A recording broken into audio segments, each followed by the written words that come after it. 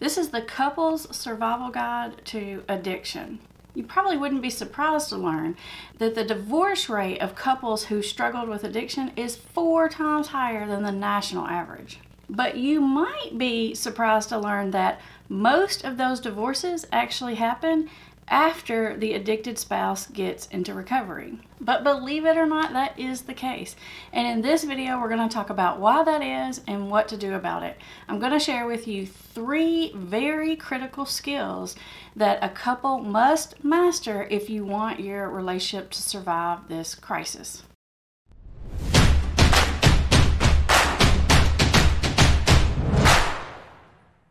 For those of you who are new here, welcome to Put the Shovel Down. I am Amber Hollingsworth, and this YouTube channel is all about helping you understand the science and psychology of addiction so you can get your life and your family back on track.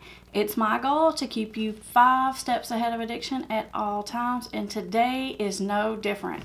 We've got some very, very important information out there for anyone who's in a relationship where addiction has caused problems, whether that's you, you're the person who struggled with addiction, or your partner or your spouse is the person who has struggled with addiction. If you want your relationship to survive, please pay special attention to what's contained in this video. Now, you might be thinking, why in the world is the divorce rate higher after the individual struggling with addiction has gotten into recovery? Well, I think there's probably a number of reasons for that.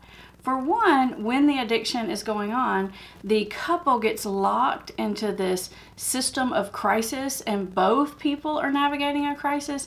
It's almost like while you're in the crisis, you're just stuck navigating that. And it kind of creates this almost like trauma bond together that keeps you together trying to figure this whole thing out. After the fact, once someone um, begins a recovery process or gets into sobriety, Believe it or not, there is not a lot of help and resources out there for couples to navigate through the recovery process as a family unit. And because of that, all the trauma that both partners have experienced doesn't get addressed and it's just lingering out there. And typically, couples are not treated for that trauma and they don't get any help about how to move past those problems, how to communicate, how to resolve couples issues and the whole system just falls apart from there. I've seen this so many times and it's always surprising. You know, I'll be working with um, a family or a couple and the addicted person struggles and struggles and struggles and it feels like right when they're just about to get it or right when they finally got it the whole couple falls apart and honestly it makes me feel pretty devastated because i'm like oh my gosh we just got here what's going on and i don't want that to happen for you so let's talk about the three really critical shifts in thinking that you must wrap your head around if you want to get through this and stay together. Number one, it's very, very helpful if you will both wrap your head around the concept that this addiction, this outside force, has come into your relationship and caused harm for both people. So instead of villainizing each other as good guy, bad guy, all that kind of stuff, you realize that this problem out here, this external force, is the problem and not necessarily any one person in the family system. When you do that, you can stop doing all the blame shifting and you can start to wrap your head around the fact that everybody has been hurt by this issue.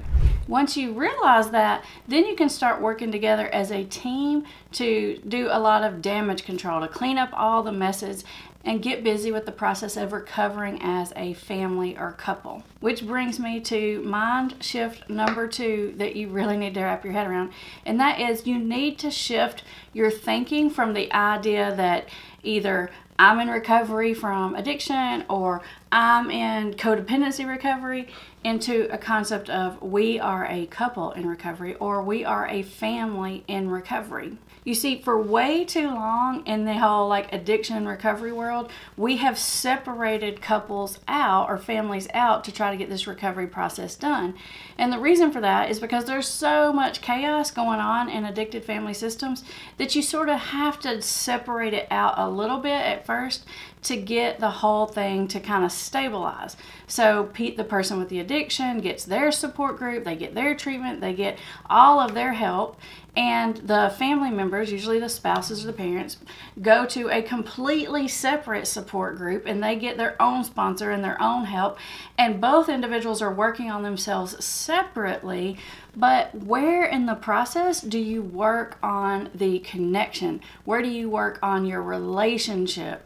Or even your family as a whole. You see, there's just not a lot of resources out there for that, and it is a major lacking component.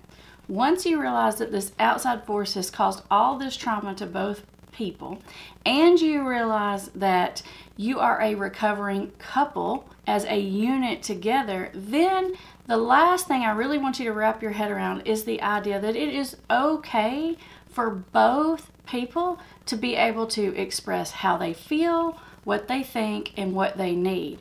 And for me, family recovery and couples recovery is all about how to help the members of a family do that in a productive way, how to help each person hear the other person, how to express yourself in an assertive but effective way. Basically, it's like, how do we get our needs met better in this relationship? You know, I hate to say it, but a lot of the traditional recovery wisdom is all about detaching. Any of you who are in like an Al Anon or a um, partner or, or spouse support group, you know this. It's like detach, detach, detach. And if you're the person that's trying to get into recovery, you're the person that has had an addiction, then you hear, you know, like recovery is a selfish process and addiction is a selfish disease and you got to focus on yourself. And so you get all this messaging that pulls you apart and tries to get you to focus on yourselves which in some ways is a little bit helpful because typically the whole system has become so enmeshed and messy and toxic that you do need to pull the pieces apart and work on them a little bit individually. But please don't forget that you've got to put those pieces back together and work on the unit itself. Otherwise, those pieces will, when they do come back together, they're not going to work together. They're not, it's just not going to work right unless you address the systems issue. Now, if you're watching this and your spouse is still in active addiction and you're trying to get to the recovery process, then I would recommend our Invisible Intervention online program for you because not only is it going to teach you how to intervene and get your loved one to take steps towards sobriety and recovery, but in the process, you're going to already be starting to heal that relationship so that when your spouse does start the recovery process, you're already halfway down the road because the relationship is already going to be working about a hundred times better when they get there.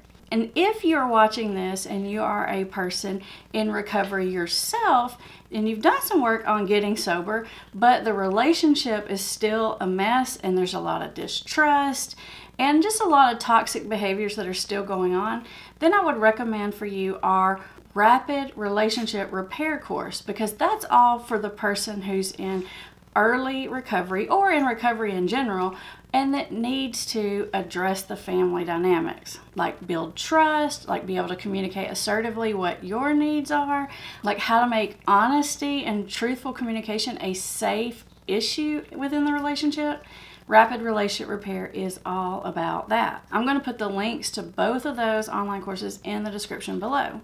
But up next, your very next step in being able to work on the relationship issue, I've got these two videos for you. I'm going to put them right up here, which specifically focus on the relationship part of recovery.